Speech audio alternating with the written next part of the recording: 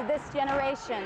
Bethany Stanley is usually your host, but she's playing basketball in the two-way uh, state championship here at Service High School in Anchorage, Alaska. It's going to be a good one.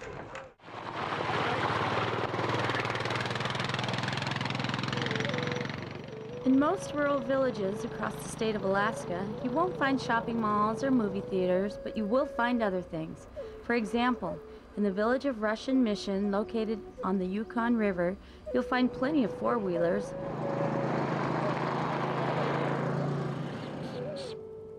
lots of dogs,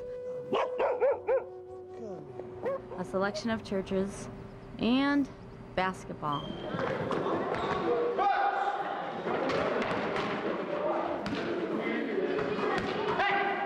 It's the village sport here in Russian Mission, as well as most other rural communities across our vast state.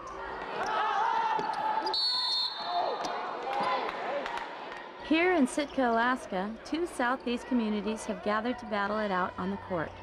Basketball is important to the youth of rural Alaska since there is often very little to do during the long winter months. It's hours of playing this vigorous sport that make the youth of rural Alaska some of the best players in the state. In fact, at the annual state basketball tournaments, you'll see a lot of native faces, mostly because they're the best. For most of these youth, it's about the glory of winning the state title. But for this group of young ladies from Matanuska Christian High School, it's about the glory of God. Lord, we acknowledge it's your hand that's blessed this season. Lord, you've blessed this girls' team. Lord, you helped us to get this far. We give all the glory to you and the honor to you. I just thank you for the opportunity and the and just the um, doors that you've opened for us to, to be here and the unity that you brought among our um, team. And I just thank you for that in Jesus' name. I pray that you just bless this worship.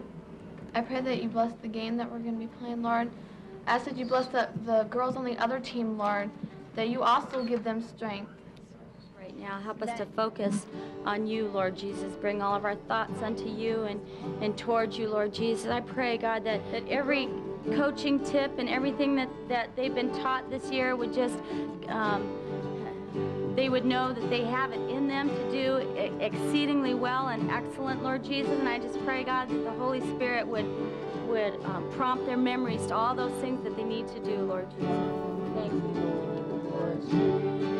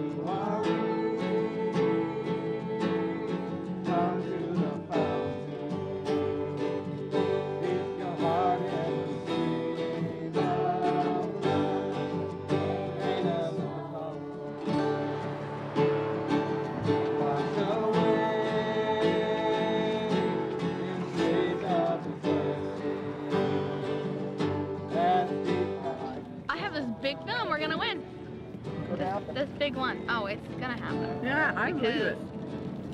I, oh, I really know. felt the power of God there. Yeah. There's your ball. Oh, I'm sure the girls are a little nervous. Well, I think we're all a little nervous uh, since this group hasn't been to state for the most part. I think two of the girls were on the team a few years ago. Anyway, um, worshiping the Lord helped a lot. that was awesome. And just uh, the presence of God, and I think we got energized. So we're um, we're just looking forward to it. It'll be a lot of fun. Just,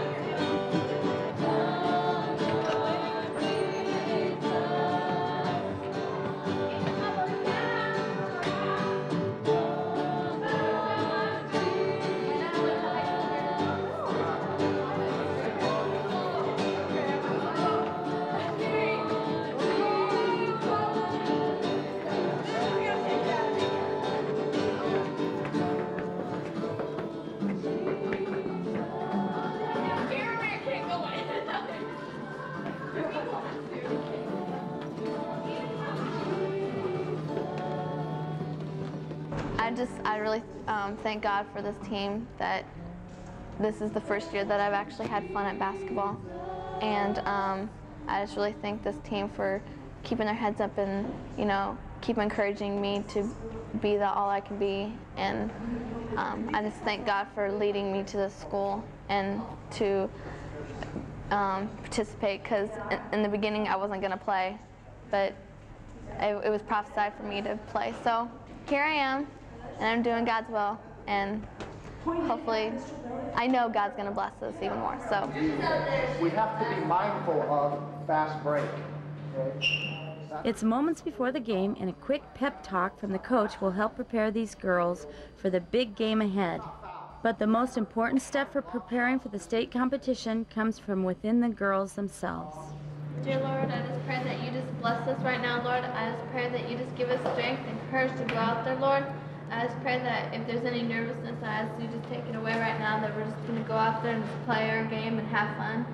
Lord, I pray you'd protect us and uh, keep all of our injuries, God, safe. Lord, I pray you'd just heal us, Lord, and that you would uh, mentally equip us for this game, God, that we would be tough, Lord, and that we would be sportsmanlike, God, nice to the refs, nice to the other team, and that we would encourage each other all the time, Lord God, and that we would just glorify you in all that we do. Are you fired up? Yes, we're fired up. Are you fired up? Yes, we're fired up. Okay, let's play.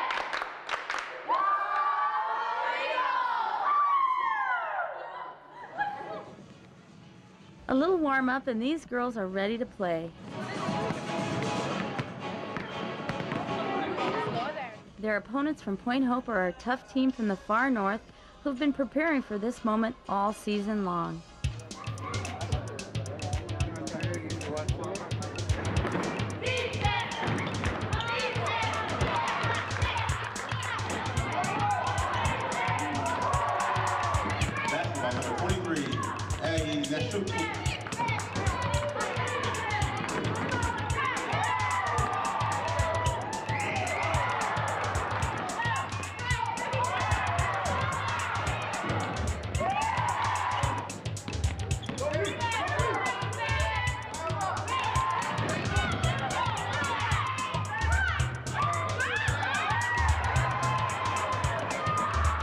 For Point Hope, it was a strong start, stealing the ball every opportunity.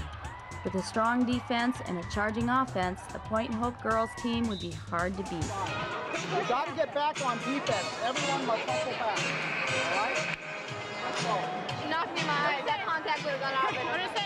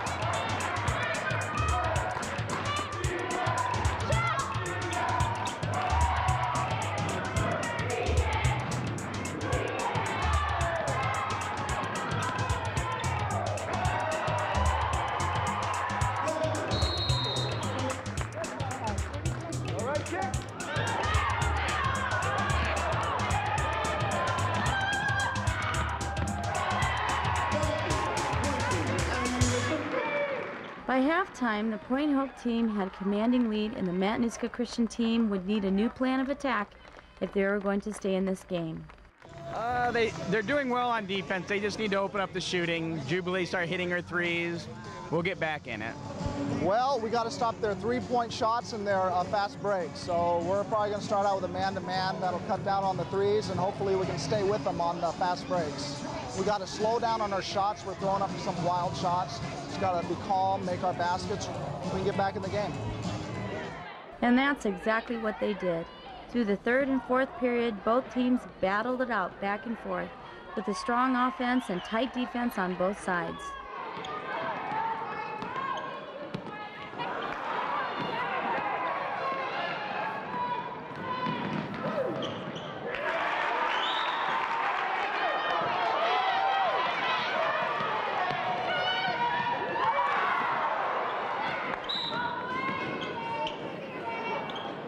The fourth period, the Matanuska team managed to bring the game within 10 points.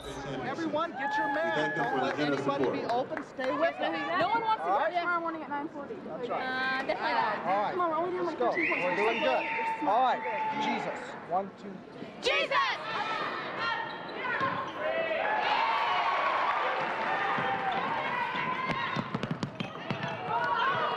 But the Point Hope defense was just too tough, and the game would go to the Point Hope girls. It was a great game on both teams' parts, and a good warm up for tomorrow's game.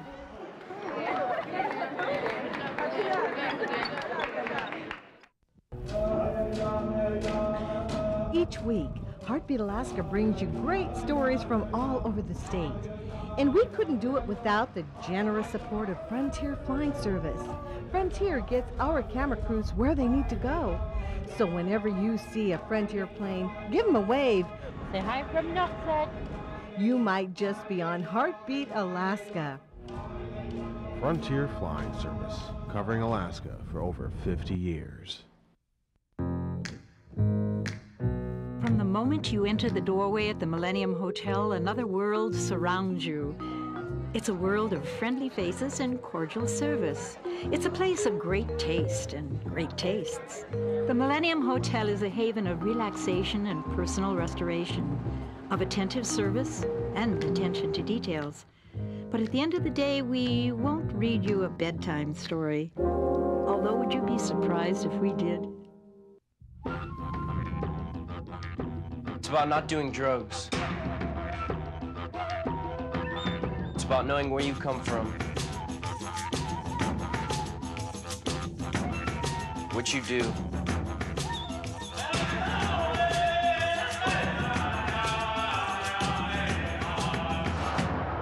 And who you are. It's about not doing drugs.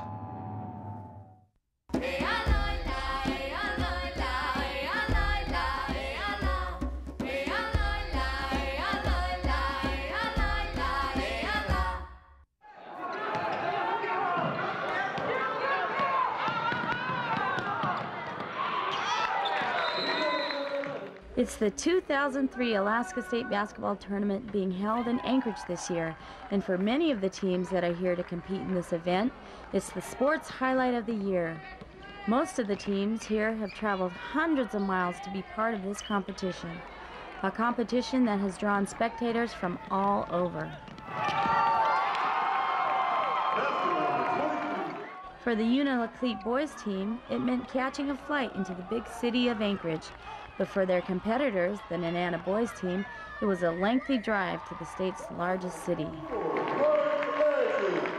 But traveling is not an unfamiliar term to the students from Nenana. In fact, much of the Nenana team is comprised of students from all over the state of Alaska who have come to this historic town to live in the Nenana Student Living Center while attending Nenana High School. They're from all over the state. We've got some from Mountain Village, some out of Fairbanks, Anchorage. Um, I think where Derek's from. A lot of them out of Mountain Village, a lot of western part of the state. Today, Nenana's moving into um, uh, uh, developing um, a relationship with with the rural communities and bringing their children here to attend high school.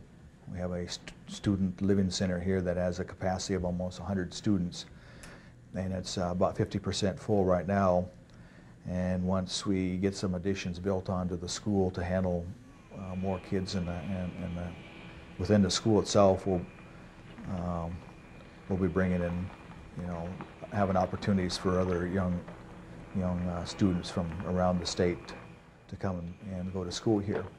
It's an opportunity for rural students to attend a high school that offers a higher education than they could receive in their village school.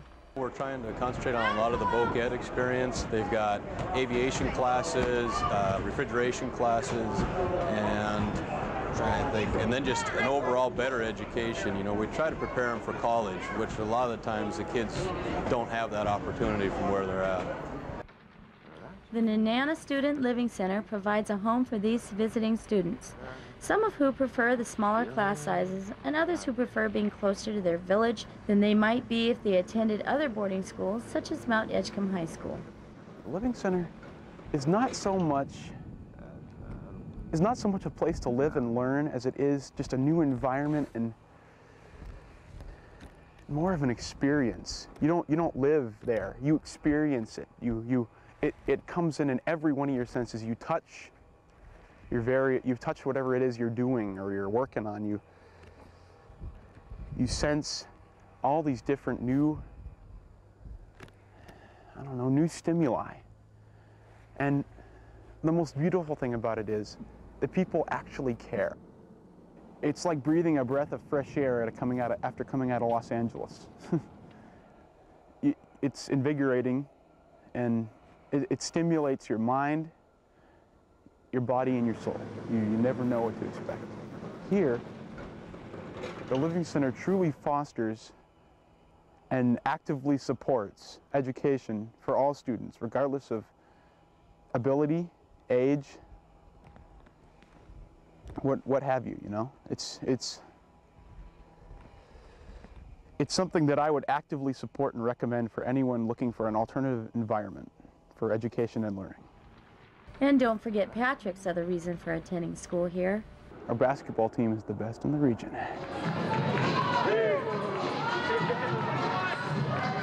There must be some truth to that because here they are at the state tournament going head to head with the boys team from Unalakleet, Alaska.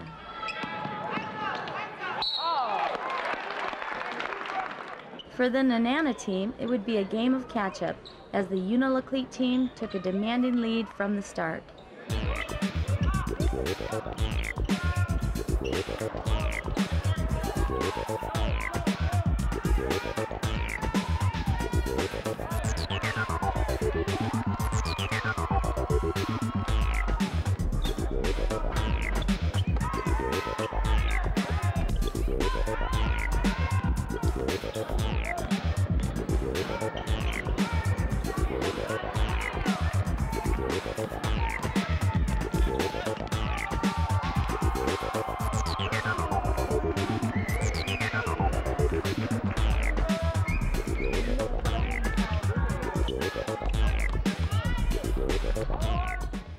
Giving it their all, the Nenana team pulled within eight points of Unalakleet, but not close enough for victory. In the end, Unalakleet would win this game with a final score of 66 to 54. First half I was disappointed, but then they came out in the fourth quarter and they really played with a lot of heart, you know, and that's all I ask of them. Even if we're down by 20 or ahead by 20, they keep playing hard. Don't go away. This generation will be right back. And all you good basketball players come to Nenana and stay in the boarding home. Kenai Peninsula College, part of UAA, and Alaska Christian College, working together for the future. For the first time, I really looked at my life like I held a mirror up to it, and I got to see who I really was. An opportunity to challenge yourself. Made me feel like I was at home. Small classes designed for your success. It's challenging, but it's not overwhelming. A quality education in a rural environment. We are definitely a family, and everything that comes with it. Turn it up!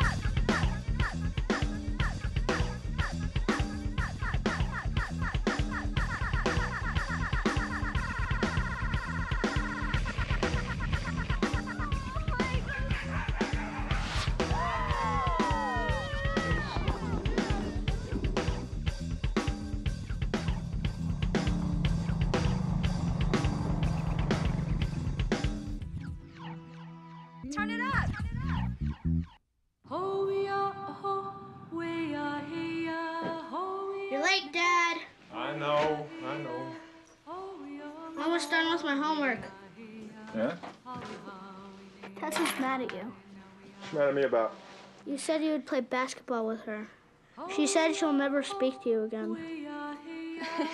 Parents that are involved with their kids are more likely to help keep their kids away from drugs. Good. Nothing but that. Each week, Heartbeat Alaska brings you great stories from all over the state. And we couldn't do it without the generous support of Frontier Flying Service. Frontier gets our camera crews where they need to go. So whenever you see a Frontier plane, give them a wave. Say hi from Nuxet. You might just be on Heartbeat Alaska.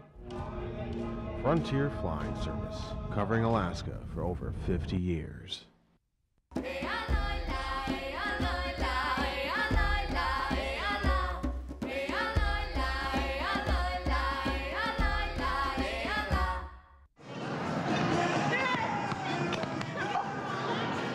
It's the second day of the state championships, and the Matanuska Christian girls team is ready to play ball, this time against the Angoons girls team.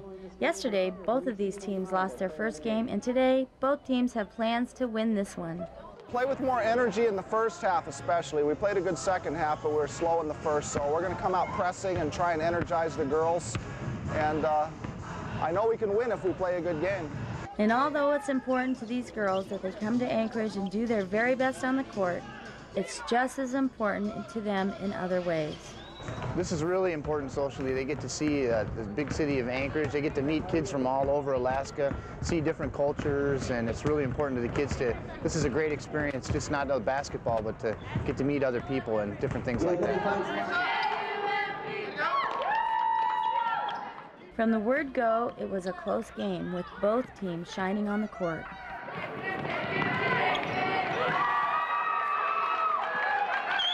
That's it, let's go!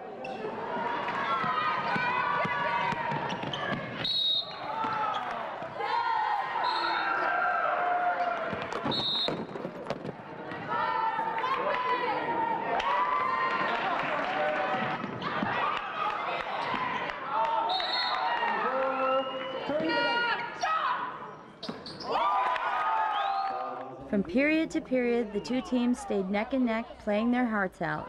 It was a good game until the fourth period. Then it was a great game. Tied 50 to 50 with seconds left in the game, Matanuska's Bethany Stanley went up for a shot and was fouled. Sending her to the free throw line with two shots and no time left on the clock. That was stressful. it was stressful because, I don't know, my team was counting on me.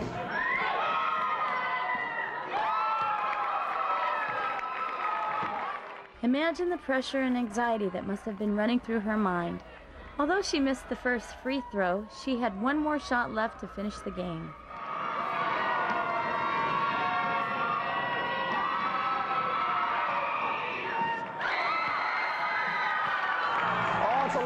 Pressure. I had the same thing when I was in high school. I had two free throws with no time. I missed them both.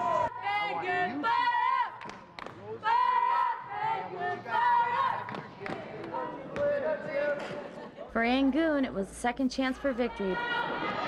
But Matanuska Christian had plans of their own, and for Bethany Stanley, it was an opportunity to redeem herself. In the end, Matanuska Christian School would take the lead and hold it for victory. That was a tough game. Tough game. Uh, we were just really thankful to be able to get a victory. Uh, helped a lot there when their two good players fouled out at the end, but it was just hard-fought game all the way. What do you think about your girls? Well, I was very proud of them. They worked really hard. The Lord helped them, that's for sure, on some of those shots. And, uh, you know, we just give thanks to God for that win, that's for sure. Angoon, they're a really good team, really nice girls. It was fun to play against them. They had a lot of hustle and uh, good attitudes. Um, they're a really good team, actually. They're a really good team. I watched them play yesterday, and um, we kind of figured that we were going to play them today, but they're a really good team. They um, kept their heads up, and they had positive attitudes, and um, I like playing with them. I like playing with them. At the end of the state tournaments, the 2A boys title would go to the Heidelberg team, and the 2A girls champions would be Ninilchik. In the 1A division, the boys team from Noorvik would be crowned champions, and the girls team from Mountain Village would take home the title. Just proving once again that when it comes to basketball, the native people of Alaska are the reigning champs.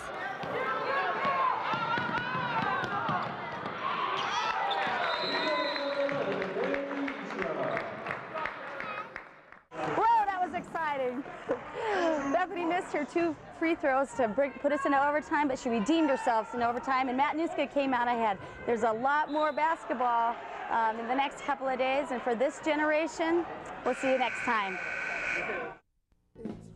To purchase a VHS copy of this program, have your credit card number ready and call area code 907-563-7440 or mail $20 check or money order to Jeanie Greene Productions, 6216 Old Seward Highway, Anchorage, Alaska 99518. Ask for the program number listed below.